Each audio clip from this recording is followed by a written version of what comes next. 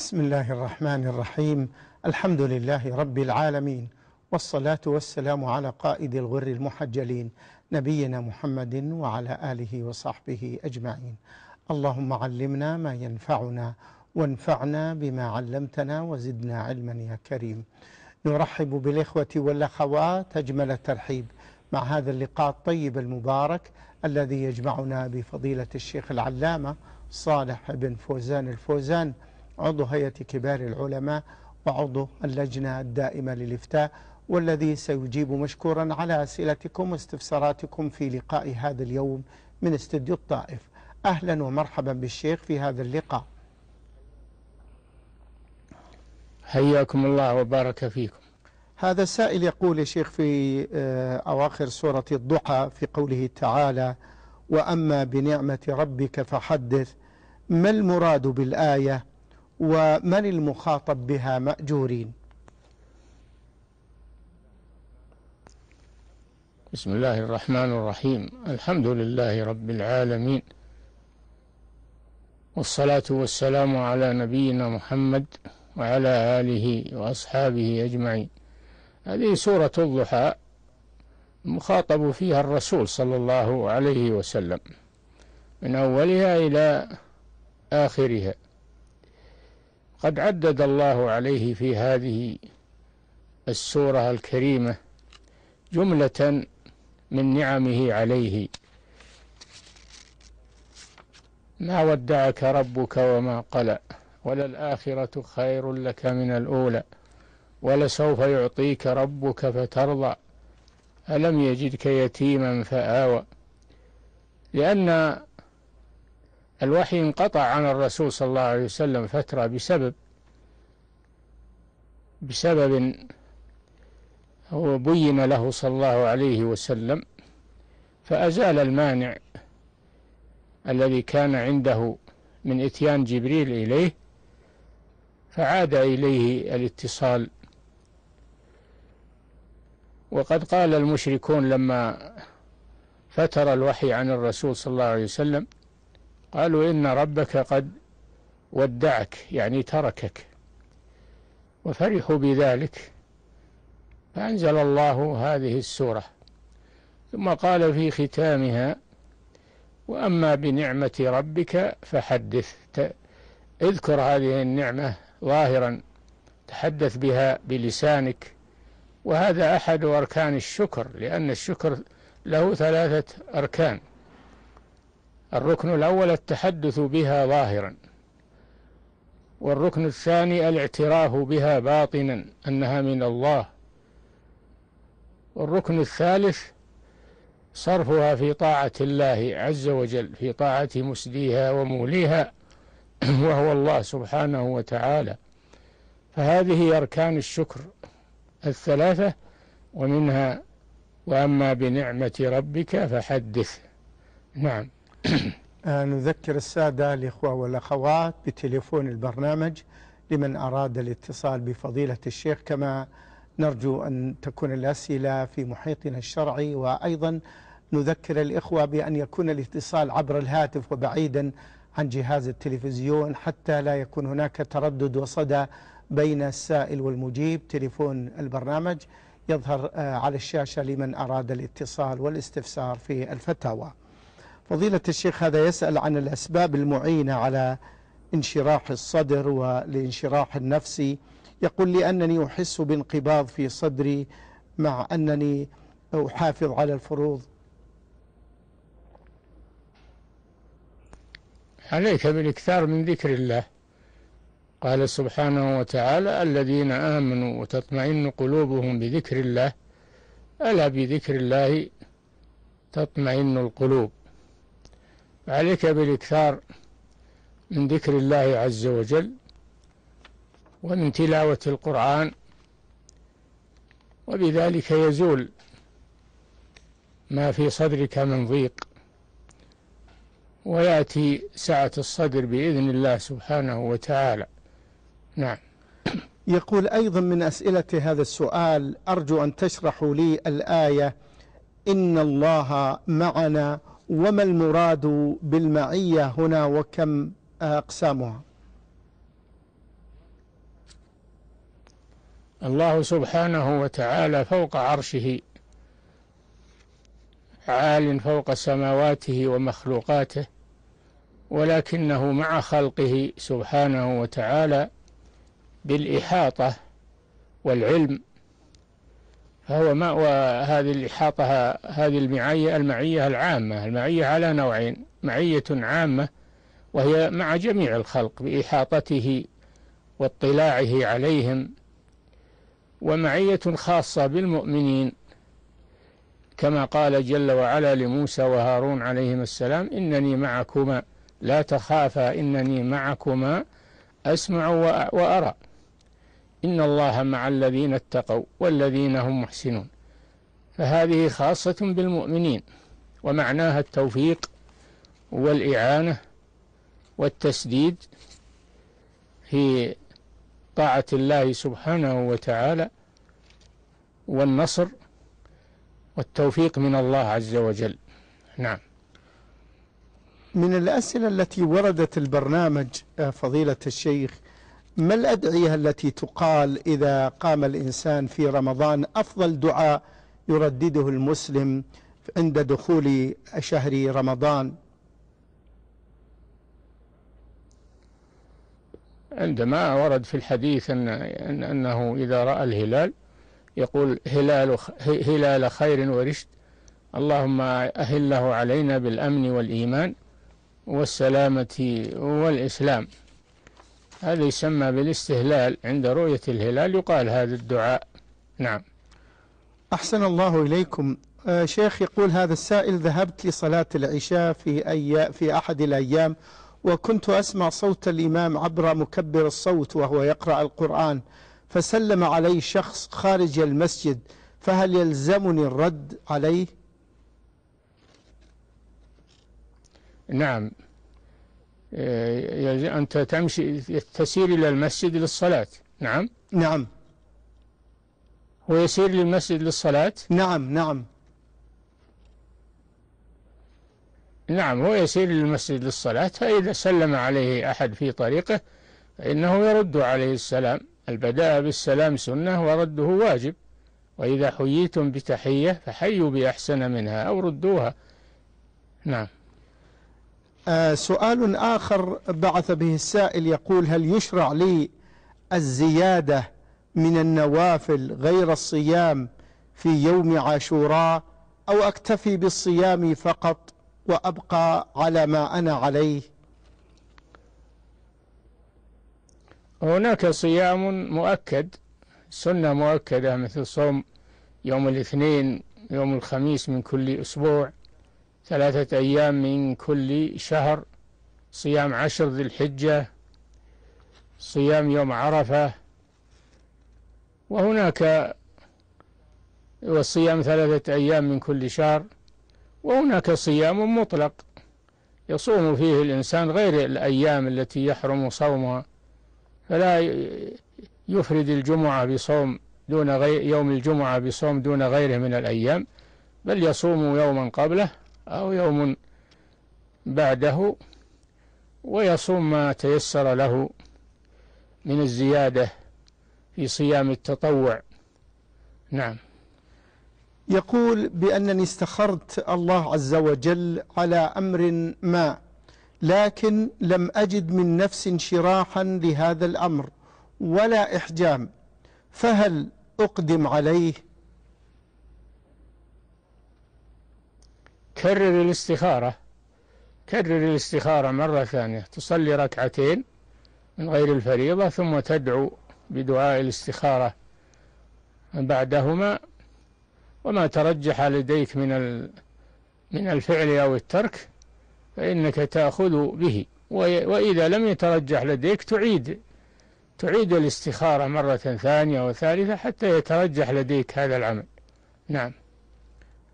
آه أيضا يسأل يا شيخ في سؤاله الآخر هل تلقي الرسول صلى الله عليه وسلم للحديث القدسي كتلقيه عليه الصلاة والسلام للقرآن الكريم؟ نعم هو الحديث القدسي من كلام الله عز وجل يتلقاه إما بواسطة جبريل عليه السلام وإما بالإلهام والنف في الروع كما في الحديث. فهو يتلقى الوحي عليه الصلاة والسلام الغالب أنه بواسطة جبريل. قد ينزل عليه الوحي بدون واسطة من الله سبحانه وتعالى وكله حق. نعم. نبدأ بالاتصالات معنا المتصل من جدة محمد. تفضل يا محمد. السلام عليكم.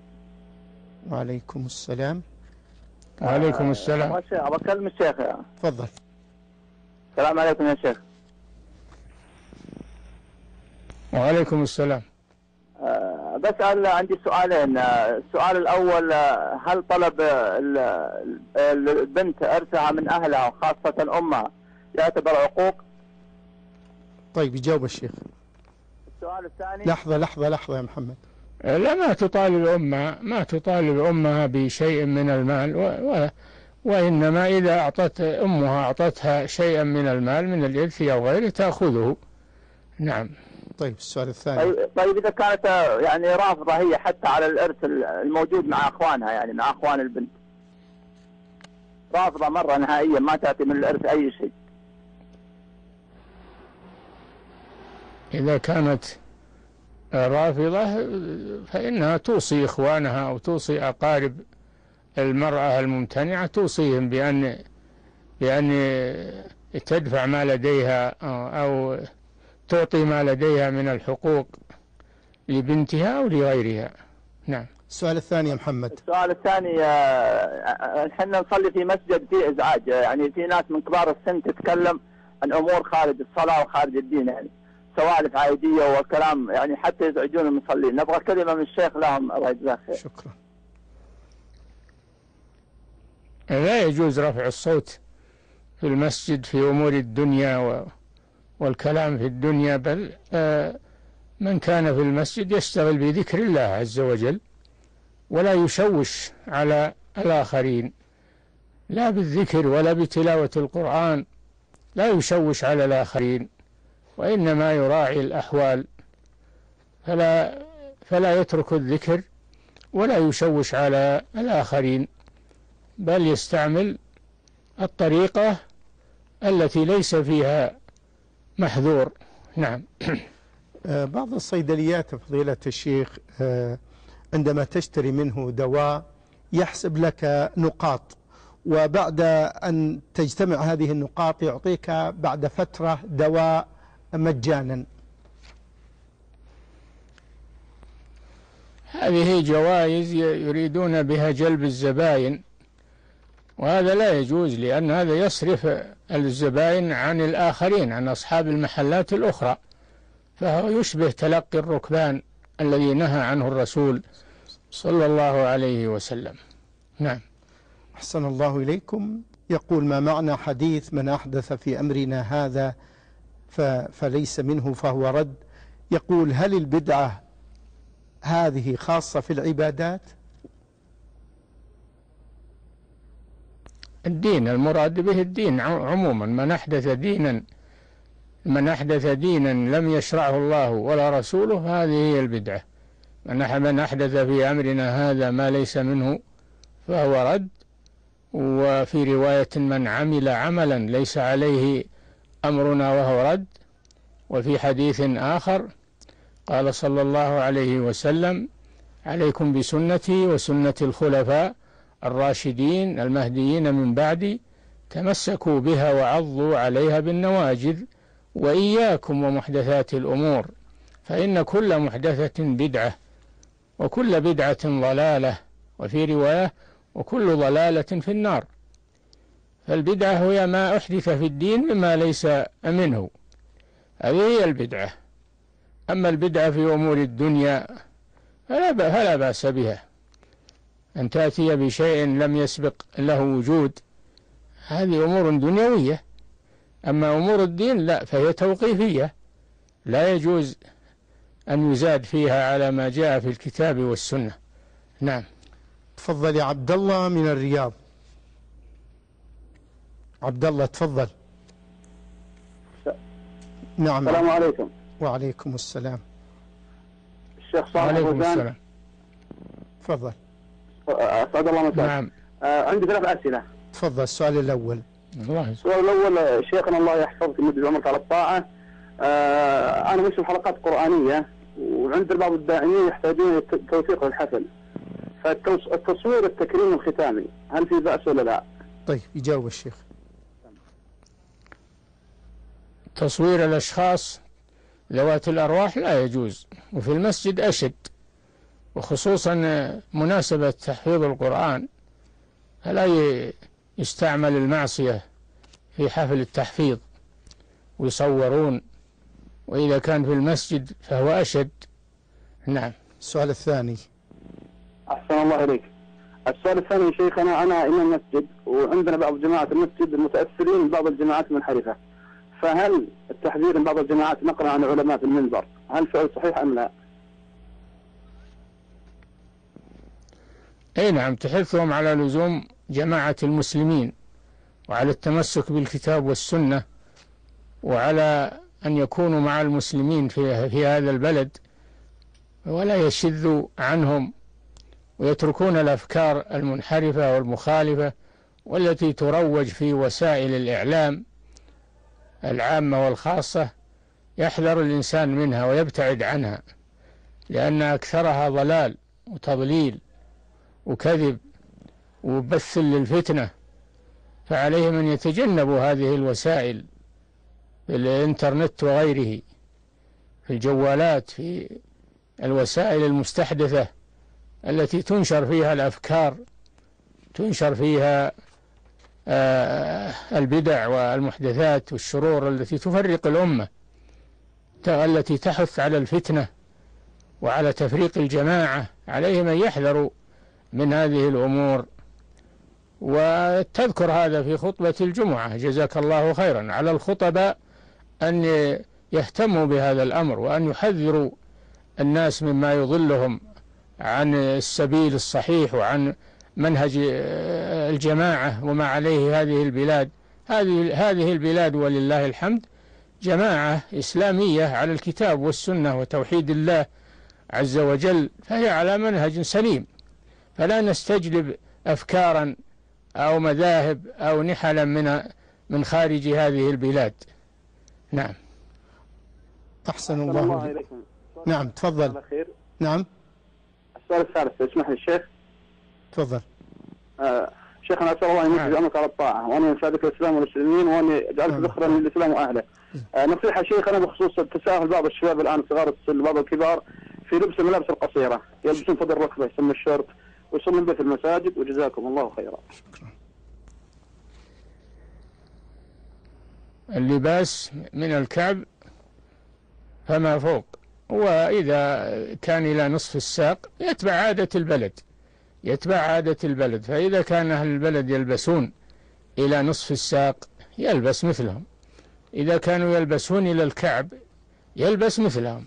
إذا كانوا يلبسون أسفل من الكعب فيخالفهم في ذلك لأن هذا هو الإسبال المحرم. فعليه أن يتمسك بالسنة في اللباس وأن يلبس لباس البلد الذي لا يخالف السنة وإلا يكون من لباس الشهرة الذي جاء الوعيد بمن لبس لباس الشهرة وهي مخالفة ما عليه أهل البلد من المسلمين في الملابس وفي اللباس الذي لا يخالف السنة.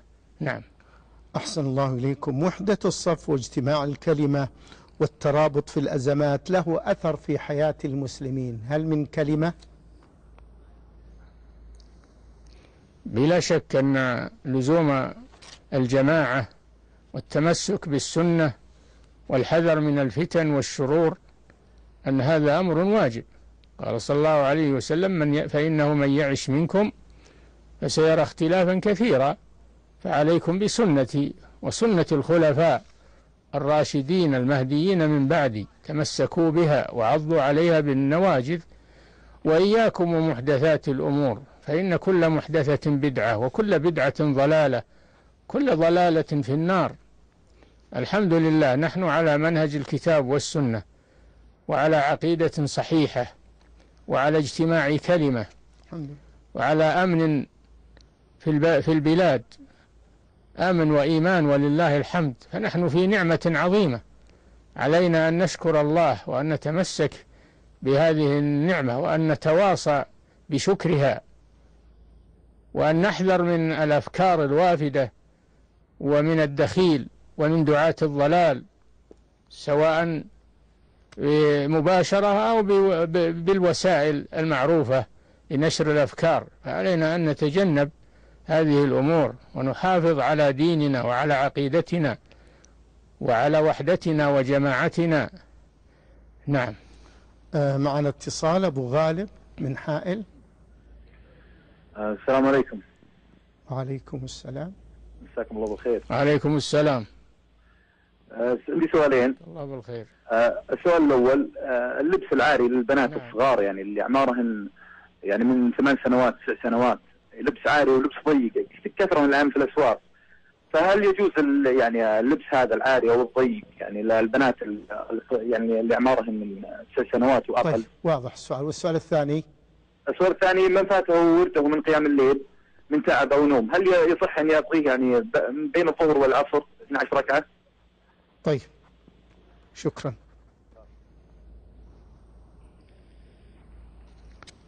اللباس يا أخي يراعى فيه أمور. يراعى فيه أن يكون ساترا ولا يكون شفافا. يراعى فيه أن يكون ضافيا ولا يكون قصيرا. يبين شيء من العورة. وعورة الرجل ما بين السرة إلى الركبة. والمرأة كلها عورة فعلينا أن نتمسك بذلك وأن نستر عوراتنا وأن نتجنب آه، العري والتفسخ والانحلال.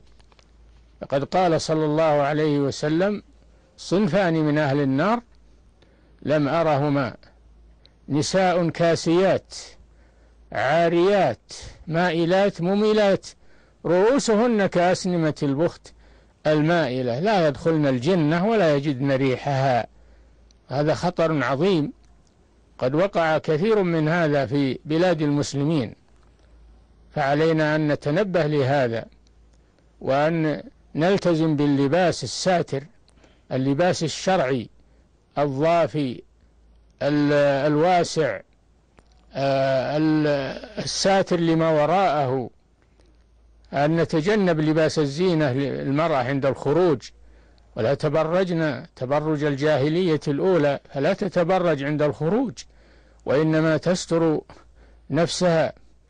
يا أيها النبي قل لأزواجك وبناتك ونساء المؤمنين يدنين عليهن من جلابيبهن ذلك أدنى أن يعرفن فلا يؤذين. فالستر فيه سلامة من أذى الفساق لا يطمعون فيها. إذا رأوها متسترة فإنهم يتجنبونها ولا يطمعون فيها. إنما إذا رأوا تساهلها في الحجاب فإنهم يطمعون فيها. نعم. من فاته الورد هل يقضيه بين الظهر والعصر؟ لا قضاء نعم يقضيه لكن ليس بين الظهر والعصر وإنما بعد من ارتفاع الشمس قيد الرمح بعد طلوعها إلى دخول وقت الظهر. هذا وقت قضاء الوتر. نعم. محمد من جدة. تفضل يا محمد. السلام عليكم. وعليكم السلام. والسلام سؤال لو سمحت تفضل. آه، أنا حلفت إن ما يدخل جهاز الدش التابع للتلفاز منزلي. والحين القناة الأولى انقطع بثها الأرضي وأريد أن أجيب جهاز الدش وأدخل عليه آه، القنوات آه، الأولى وقناة القرآن الكريم وقناة المدينة فقط. وأن ما أدخل يا أخي القنوات.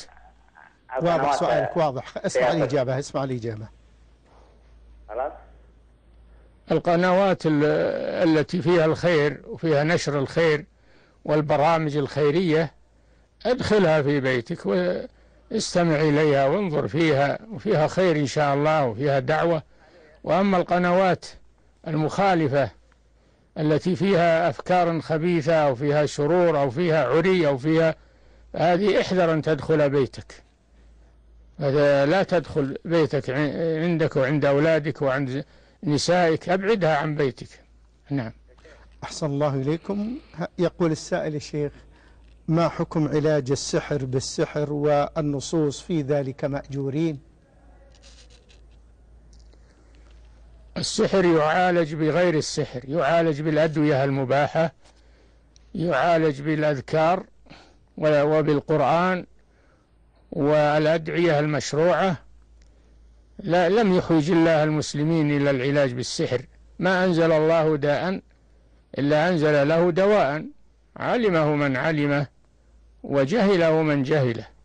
فلا يجوز علاج السحر بالسحر وإنما يعالج بالأدوية المباحة والأذكار المشروعة والورد الصباحي والمسائي والرقية الشرعية وبذلك يزول بإذن الله مع التوكل على الله.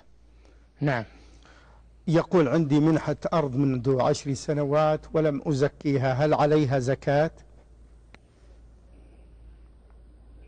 إذا كنت تنويها للبيع فإنك تثمنها كل سنة تقومها كل سنة تمر عليها وتخرج ربع العشر من القيمة التي تساويها هذه الأرض لأنها أصبحت من عروض التجارة فهي فهي تجارية تزكى كل سنة. نعم. يقول حرم لبس الذهب آه، على الرجال. ما الحكمة في ذلك يا شيخ؟ ليس هو من ما يتناسب مع الرجال وشهامتهم و وليس الرجال بحاجة إلى التزين بالذهب هذا من خصائص النساء. قال تعالى أو من ينشأ في الحلية يعني النساء وهو في الخصام غير مبين. فالحلية من خصائص النساء ليست من خصائص الرجال. خصائص الرجال الشهامة والرجولة وليس من خصائصهم الرقة و والتزين بزينة النساء. نعم. يقول آه، في الحديث الذي ما معناه يقول لم أحفظ هذا الحديث آه، كم أجعل لك من صلاتي يا رسول الله؟ فقال آه، ثلثها نصفها ربعها. ما معنى هذا مأجورين؟ اشرحوا الحديث. معناه الدعاء. أجعل لك من صلاتي يعني من دعائي. يعني هل أجعل الدعاء الذي أدعو به كله للرسول؟ أو بعضه. فالرسول صلى الله عليه وسلم قال اجعل ما شئت أو ما هذا معناه وإن زدت فهو خير. قال اجعل لك صلاتي كلها. قال إذا تكفى همك و ويغفر ذنبك. يعني الدعاء يكثر من الدعاء للرسول صلى الله عليه وسلم. وذلك بالصلاة والسلام عليه. والدعاء له بالوسيلة والمنزلة العالية في الجنة وأن يبعثه الله مقاما محمودا. نعم. آه عبد الله من الرياض. تفضل عبد الله السلام عليكم. وعليكم السلام. شيخ الله يجزاك خير. فيه أحد الأجانب عندما يصلي لنا بعض الاحيان بعض الفروض إذا الإمام ما هو فيه أو المؤذن. ولا نرغب صلاته حقيقة. تفسير على القران هل يجوز لنا يا شيخ أن ننصحه بانه لا يصلي لنا؟ اي نعم. قولوا للإمام يوكل واحد يوكل واحد تبرأ به الذمة. ولا يوكل واحد لا تبرأ به الذمة لا يحسن القراءة أو يوكل واحد ما هو ما هو ثقة في عقيدته أو في دينه. يوكل من تبرأ به الذمة لأن الصلاة أمانة والإمامة أمانة. نعم. فلا يوكل عليها إلا من يقوم بها على الوجه المشروع. نعم. السؤال الثاني يا شيخ تفضل. أنا نسيت رايح مشوار ونسيت على أني أصلي صلاة العشاء وكثرة الشغلة نستثني الصلاة ولا تذكرت إلا اليوم الثاني إني ما صليت العشاء اليوم اللي قبله. فقمت فصليتها أثناء تفكيري لها فهل هذا جائز؟ هذا هو المشروع. قال صلى الله عليه وسلم من نسي صلاة أو نام عنها فليصليها إذا ذكرها. لا كفارة لها إلا ذلك. نعم. أحسن الله إليكم.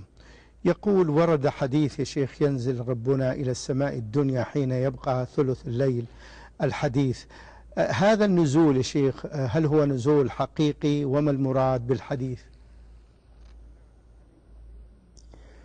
نعم الحديث صحيح والنزول حقيقي ينزل سبحانه نزولا حقيقيا كما يليق بجلاله ليس كنزول المخلوق وإنما هو نزول يليق بالله عز وجل. فنحن نثبت الحديث ونؤمن به وأن الله ينزل كل ليلة حين يبقى ثلث الليل إلى سماء الدنيا فيقول هل من داع فأستجيب له هل من سائل فأعطيه هل من مستغفر فأغفر له؟ وهذا من فضله وإحسانه ومنه وكرمه على عباده. نعم. أحسن الله إليكم. فضيلة الشيخ آه هذا سائل يقول شخص آه أبتلي بالحسد. فكيف يعالج هذا الحسد في قلبه؟ وما الأضرار المترتبة على الحسد؟ يكثر من ذكر الله. إذا رأى شيئا يعجبه فإنه يكثر من ذكر الله. ويقول ما شاء الله لا قوة إلا بالله. ويدعو لمن أعطاه الله هذا الشيء يدعو له بالبركة ولا يحسده. وإذا تمنى أن يعطيه الله مثل ما أعطى أخاه من المال من الجاه من العلم فلا بأس بذلك. ليس هذا من الحسد وإنما هذا من الغبطة. نعم. أحسن الله إليكم. يقول الشيخ هذا السائل ما الفرق بين قولنا هذا قضاء أو هذا قدر؟ لا فرق بينهما فالقضاء هو القدر والقدر هو القضاء. نعم. يقول حدثونا عن قضاء الفوات للفوائت الذي يريد أن يصلي وقد ترك في بداية حياته عدة فروض. إذا كانت صلوات كثيرة فعليه بالتوبة إلى الله والمحافظة على الصلاة في بقية حياته ويتوب الله على من تاب. أما إذا كانت فروضا قليلة فإنه يقضيها يقضيها في الحال. إذا ذكرها أو تمكن من قضائها يقضيها في الحال مرتبة. نعم. له سؤال آخر عن الفرق بين التكبير المطلق والتكبير المقيد. التكبير المطلق من بداية عشر ذي الحجة وكذلك في ليلتي العيدين هذا غير مقيد بوقت. وأما المقيد فهو ما يكون في أدبار الصلوات المفروضة. إذا سلم من الصلاة المفروضة في أيام التشريق فإنه يكبر بعد السلام التكبير المقيد. نعم. يقول السائل آه، أبو عبد الله ذهبت أنا وأخي إلى مسجد قباء. وأدركت الناس يصلون في رمضان صلاة التراويح فهل إذا صليت معهم أنال بإذن الله تعالى بكل تسليمة أجر عمرة؟ إن شاء الله إذا صلحت النية وصليت معهم مع الجماعة وتنوي بها صلاة آه، زيارة مسجد قباء فهذا خير إلى خير. نعم. أخيرا نختم هذا اللقاء بهذا السؤال. يسأل يا شيخ يقول في رمضان وفي دعاء القنوت آه، آه، يدعون اللهم لا تدع لنا في مقامنا هذا ذنبا إلا غفرته. كلمة في مقامنا هذا. الذي يظهر لي أنها لم ترد في مقامنا هذا. أتدع لنا ذنبا إلا غفرته ولا هما إلا فرجته ولا كربا إلا نفسته ولا يقول في مقامنا هذا. نعم. شكر الله لكم الشيخ صالح وبارك الله فيكم وفي علمكم ونفع بكم الإسلام والمسلمين على تفضلكم بإجابة الإخوة والأخوات في هذا اللقاء الطيب المبارك. أشكر الحقيقة الزملاء في استوديو الطائف الذين هيئوا هذا اللقاء استقبلوا الشيخ ولهم جهود طيبة الحقيقة في تواصلنا مع القناة السعودية الأولى. أشكر زملائي معي في الرياض من الفنيين والمخرجين والمهندسين. هذا زميلي معجب الدوسري يتمنى لكم أوقاتا طيبة وعمرة بذكر الله عز وجل. والسلام عليكم ورحمة الله وبركاته.